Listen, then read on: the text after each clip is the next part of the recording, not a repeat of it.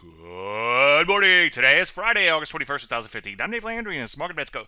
Yeah! Take a look at the P's down over 2%. As you can see, they're now well below their 200 day moving average. Notice that the 50 day moving average and the 200 are beginning to converge. This could cause the so called dun dun dun death cross.